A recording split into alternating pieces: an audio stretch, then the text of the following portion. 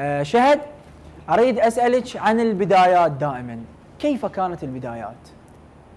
آه، طبعا كل بداية صعبة وأنا كانت بدايتي جدا صعبة لأنه كنت مريضة من آه، جيت للدنيا كنت مريضة وفي حالة إعاقة.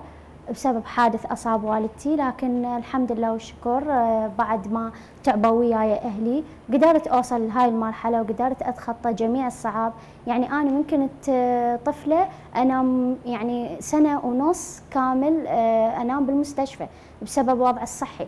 لكن الحمد لله والشكر بعد تعب أهلي وتوفيق من رب العالمين قدرت أجتاز هذا الشيء وسجلت مدرسة لكن آه، عانيت بصراحة بصعوبات كلش قوية لأن تعرفون المجتمع العراقي آه، يرفض خصوصا سابقا يرفض الأشخاص من ذوي الإعاقة وعانيت بال- بالمدارس بتسجيلي لأنه ماكو اندماج للأشخاص من ذوي الإعاقة. لكن هسه الحمد لله والشكر الوضع اختلف. قدرت آه، ولهذا أنا كان عندي حب للدفاع عن حقوق ذوي الإعاقة. أنا حاليا في آه، مدافعة ومتحدية في تجمع المواقين في العراق. عن حقوق الأشخاص من ذوي الإعاقة وسفيرة الإعاقة.